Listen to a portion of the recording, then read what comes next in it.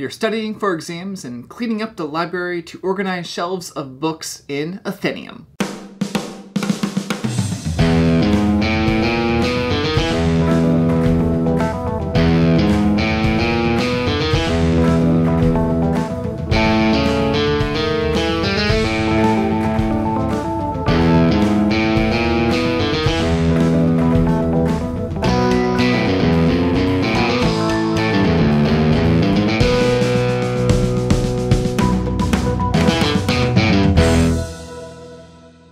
Thank you for joining me today at Tantrum House Studio D. I'm Kevin Delp. Atheneum Mystic Library is a card drafting tile laying game for two to five players. Takes about 30 to 45 minutes to play.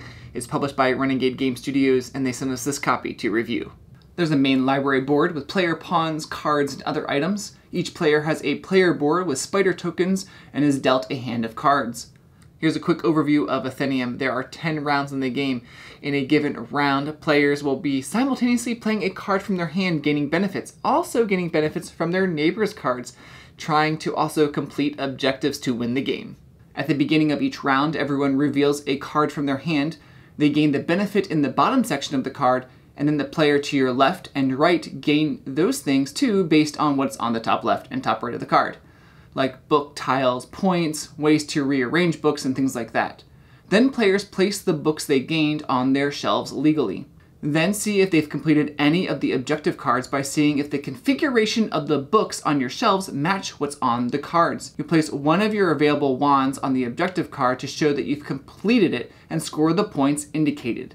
Then you'll pass your hand of cards, receive a new hand of cards, and start a new round. There's an A deck, that you'll use first for the first five rounds and a B deck for the last five rounds. One of the big differences between the A deck and the B deck is that the B deck has a lot more cards that you rearrange your books, which is really helpful for completing the objectives. When a shelf is completely filled, you remove the spider and gain a one-time benefit like a wand, book of any color, or a side shelf, or even a bonus token. If you gain a bonus token, then you pick one out of the bag. Many of them are double books for your shelf, but there are also wands and additional shelves. If you don't like what you get, that's okay. You can flip the token over and use it as a candle. Place the candle above a shelf and you'll receive that number of points at the end of the game.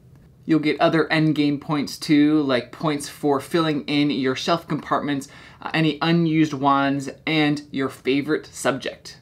At the top of your player board, it shows a color. You get a point for each book that matches that color, but they have to be adjacent to at least one other book of that color to score.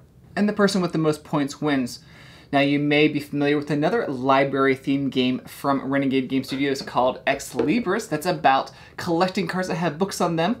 Some of the similarities between these two games is that you are trying to shelve books in the right spots. Of course, you're doing that with cards in Ex Libris and tiles in Atheneum. The other similarity are the fun names that you have on the books. The books are divided into five main subjects folklore and fiction, beastly textbooks, paranormal publications, biographies, and memoirs and rare manuscripts.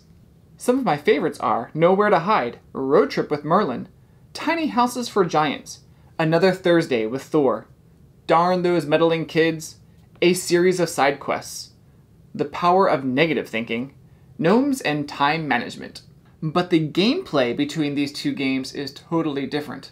Melissa and I love games that have simultaneous play.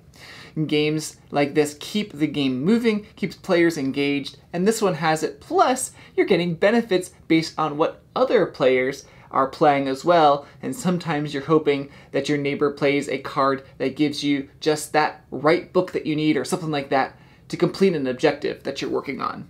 And there are decisions in the game. Should I get more wands? So I know I have enough to complete objectives, or go after more shelves to hold more books and things like that in the short term decisions on what I do with the stuff I get, that turn is fun.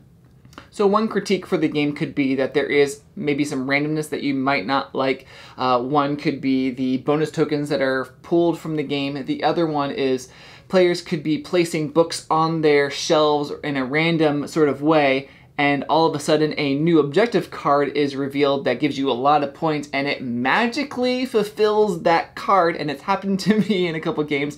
Good for that person, but bad for you. The components are good, there's a nice bag, and there's compartments for all the books too.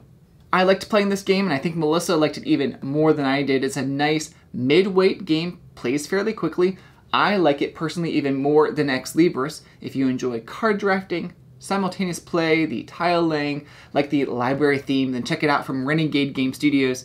And now all we have to do is figure out how to say the name. Atheneum? Atheneum? Let me know in the comments below what you think. And as always, please like and subscribe.